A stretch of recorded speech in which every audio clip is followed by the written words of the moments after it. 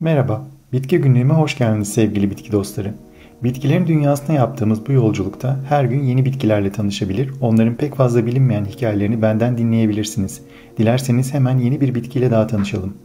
Guava ya da Latince adıyla Pisidium guayava, Mersingiller yani Myrtaceae ailesinden elma guavası olarak bilinen, Meksika, Orta ve Güney Amerika'ya özgü olsa da dünyanın birçok tropik ve tropik altı kuşak ülkelerinde yetiştirilen 10 metreye kadar boy yapabilen tropik bir meyve ağacıdır. Guava adı çilek guavası olarak da bilinen Pisidium cattleyanum ve ananas guavası denen Peyoa selloviana ağaçları içinde kullanılmaktadır.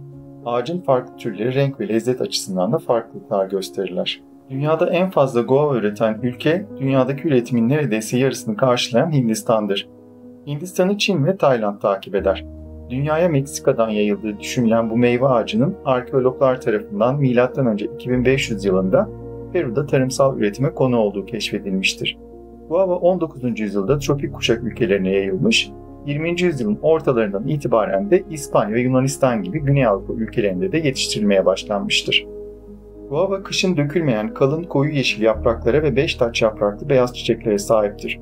Ortalama 40 yıl kadar yaşayan ve kuraklığa dayanıklı olan ağacın çok çekirdekli olsa da çekirdekleri yenebilen pembe ya da beyaz etli lezzetli meyveleri insanlar kadar kuşlar tarafından da oldukça severek tüketilir.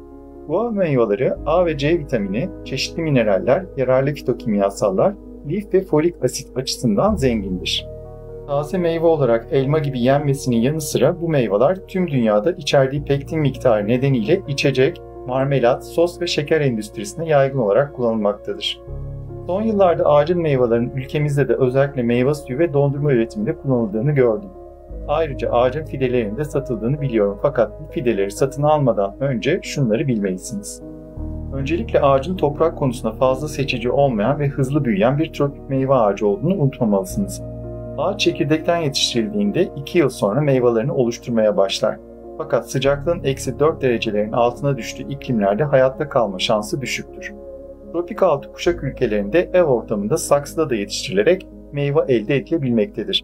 Ağaç çelik alma ve aşılama yöntemleriyle de çoğaltılmaya uygundur ve meyve kalitesi için bu yöntemler tercih edilmelidir. Bu arada ağacın çürüyen meyveleri Karayip meyve sineği adı verilen Anastrefa suspensa adlı bir tarım zararlısında yayılmasına neden olduğunda tarımı da kontrollü yapılmaktadır. Ayrıca tüm Pisidium türlerine olduğu gibi guavaya da kimi kelebek ve güve türleri de ilgi gösterirler. Bu zararlılar ve çeşitli mantar türleri ağacın hastalanmasına yol açabilirler. Fakat genel olarak guava zararlara karşı oldukça dayanıklıdır. Hawaii'de çilek guavası denen türü istilacı bitki statüsü kazanırken Jamaika guavası gibi türler ise doğal yaşam alanlarının yok edilmesi sonucu tükenme tehlikesine girmiştir. Bu arada guava ağacının odunu Hawaii'de etleri tütsülemek için kullanılırken Orta Amerika ülkelerinde ağacın yaprakları barbeküde tıpkı defne yaprağı gibi kullanılmaktadır. Guava yaprakları iltihap önleyici, mikrop öldürücü, antidiyabetik, afrodizyak ve antioksidan etkilere sahip olduğu düşünüldüğünden bu aromatik yapraklardan genel sağlığı koruyucu bir bitki çayı da yapılmaktadır. Ayrıca ağacın kabuğu ve yapraklarından doğal pigment boyası da elde edilebilir. Guava bazı kültürlerde bolluk, bereket ve refahı temsil eder. Guava ile ilgili yetiştiği ülkelere özgü pek çok efsane ve masal var. Bunlardan birkaçını anlatarak bu videoyu da sonlandıralım. Filipinler kökenli bir hikayeye göre Barabas adında çok varlıklı bir kral sarayında refah içinde hüküm sürmektedir. Kral varlıklı olduğu kadar da cimridir ve sahip olduklarını da fakir halkıyla asla paylaşmak istemez. Kral sarayında kendini sefih hayatına adadığından hiç umursamadığı krallığı da günden güne açlık ve sefalete gömülmektedir. Kral ondan yiyecek istemeye gelen fakir halkı da hakir görerek tersler ve sarayından kovar. Yaşlı bir kadın kılığında ondan bir dilim ekmek istemeye gelen bir bilge de aynı çirkin muameleyle karşılaşınca kadın krala demek ki krallığın ve senin hakkında duyduklarım doğruymuş. Senden kuru bir dilim ekmek istedim, sen beni midemi bulandırıyorsun diyerek sarayından kovdum. Yediğin önünde, yemediğin ardında. Ama sen yine de beni küçük düşürmeyi seçtin. Bencil birisin sen.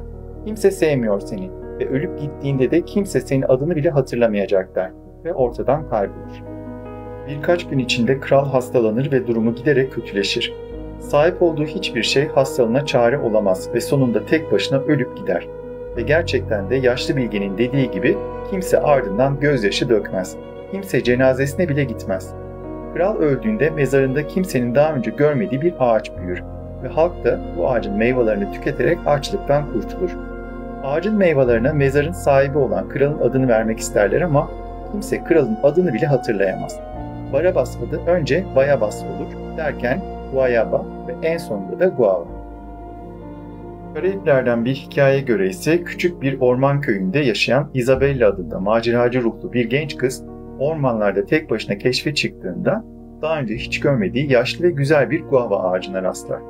Bu sihirli ağacın meyvelerinin içinde de birbirinden güzel değerli taşlar olduğunu gören Isabella, meyvelerden toplayabildiği kadarını getirip köyündeki ihtiyaç sahipleriyle paylaşır ve köyünün kalkınmasını sağlar.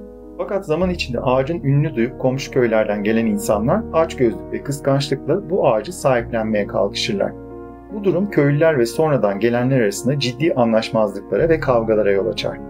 Köyünün tehlikede olduğunu gören Isabella, ağacı son bir kez ziyaret eder ve bu büyülü ağaçtan yardım ister. Ağaç bir anda rüzgarda sallanıp hışırtılar çıkartarak büyük bir fırtınayı çağırır. Fırtına da güçlü bir yağmur ve sel getirir. Ağacın meyvelerinde bulunan değerli taşlar da köye sonradan gelen açgözlü hainler de bu sele kapılıp kaybolurlar.